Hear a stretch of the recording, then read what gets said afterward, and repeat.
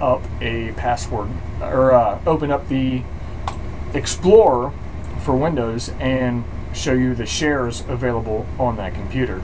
All right, so that was a very, very, very quick video and unfortunately not very thorough on how to set up Samba. All right, one more thing I completely forgot. Go to System, Administration, Network.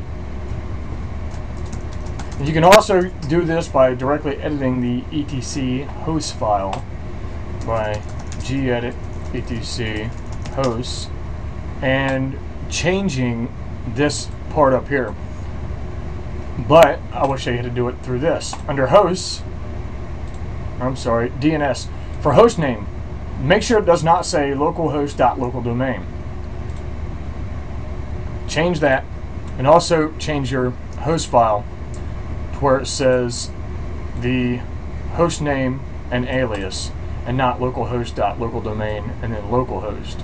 I don't even know why I've still got that in there, but it works. But I've got it in the other name in there after it. Anyway, listen, the reason behind that is with um, the hosts, when you're trying to access one Linux share from another Linux box, if both Linux computers are named localhost.localdomain, they'll get confused. So when you go to places and network and then try to find your share through there, it'll show up, but you're not going to be able to access it because it gets confused on which localhost.localdomain it's supposed to be accessing.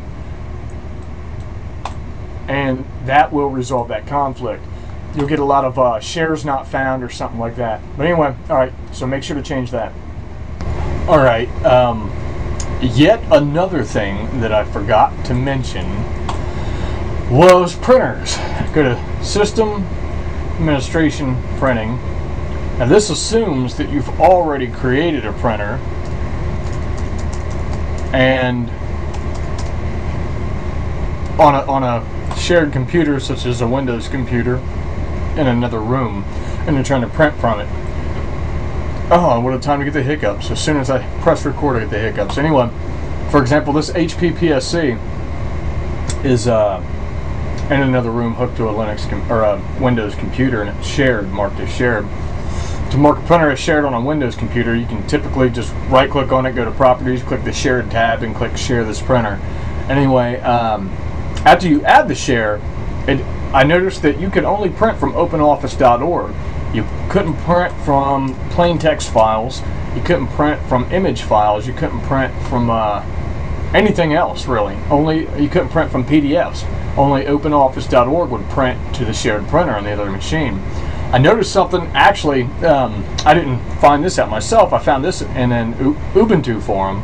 But if you right-click on the printer and go to Copy, and then give it another name because you can't have the same name. For example, change the last number of the model and click OK.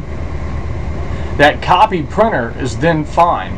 You can actually delete the original, right click on this one, click set as default, and after you delete that one, you can change this one's name again to reflect the, what the real model number is. In other words, give it the same model number as the original. Set it as default, and then you can print from anything. You can print from your PDFs, image files, text documents, or whatever. That's a little uh, little bit to go through for a, such a little bug, but it works. All right, thanks.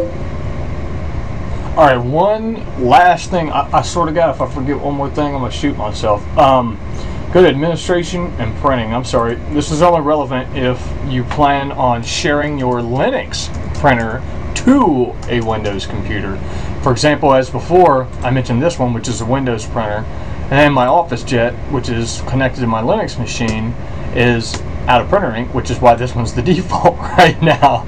Anyway, if I wanted to share my OfficeJet, just make sure that it's marked shared with Samba and then I'll append another video to the end of this that I took with a camcorder showing you how to launch it from Windows Explorer. But um, I have not ever had to try to print from a Windows computer to a Linux computer, so I cannot say 100% certain that this absolutely works. But um, as long as it's marked shared, then it technically, as far as I know, you should be able to print to it from a Windows computer because it is marked shared. And as you'll see in the appended video, which you'll see right after I shut the fuck up, that when you open this IP address, the Samba shares on the Linux computer from a Windows computer, you will see the printers. Alright, after marking a printer is shared on your Linux computer, you can hit the Windows key and R at the same time, and then type in the IP address, type in two backslashes, and then the IP address of the computer that has the shares, hit enter, then you'll enter your password and username, which I already did before I thought to record it. And as you can see, the shared printers are right there. You don't have to make any extra configuration as long as they're marked shared on your Linux computer as well. From what I understand anyway. I haven't actually tried printing to them, but it looks right.